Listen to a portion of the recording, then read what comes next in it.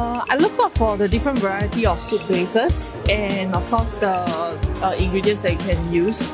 The variety is very important. Lah. Definitely the sauces, the uh, different type of sauces they have over here. Uh, I think we have about five or six sauces uh, and it's a very authentic uh, taste lah, of Thailand so, so I love it.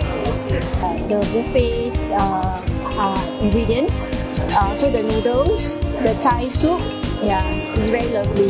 Yes. It's a nice place. Uh, the lighting is good, the air condition, it's uh, just uh, just right. I think it's good that uh, there's a variety of dishes and I think it's a good idea to bring along friends who know how to cook.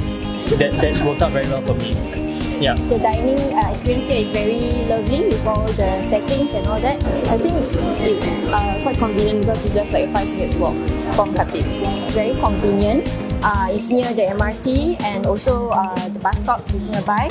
I came from Tampines, so it's quite far away from here, but there's a straight bus coming from my place. I will definitely come back here again because it's convenient, like what Akila has mentioned. It's not that pricey also, so yeah, it's a good place to dine at. Yeah. Definitely come back again. Uh, maybe next time I'll bring my uh, my whole family along, my parents and my sisters. Yes, of course, definitely. I will bring my in-laws, my friends over here to, have a try at this Suki Thai hotpot place.